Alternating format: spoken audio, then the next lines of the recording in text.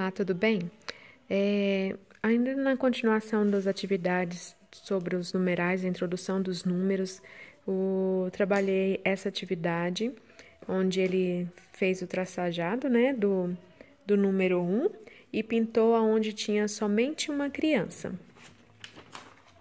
E aqui é, ele levou o cachorro até para comer dois ossos. Então ele viu que aqui não tinha nenhum e contou um, dois e ligou.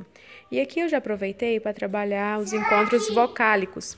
É, como eu já trabalhei as vogais, aí como é que... só um minutinho, Gabriel. O que que o cachorro faz? Au. Au. Au. Então você já pode começar a trabalhar os encontros vocálicos aqui. nessas formas, tá bom? Aqui. Só um minutinho, filho. E aqui ele teria que colorir os dois meninos de azul e as duas meninas também de, de vermelho. Eu trabalho as cores, aproveitei para trabalhar com tinta, que eles adoram, né?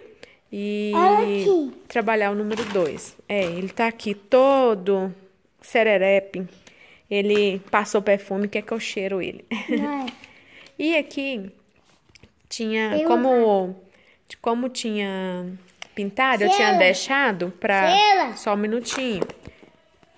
Tá cheiroso. Não, Como tá... Hum, delícia. Como tava... Tava secando, eu peguei esse material aqui, esse livro que eu já tinha mostrado. 365 atividades para meninos. E aí era circular dois morangos.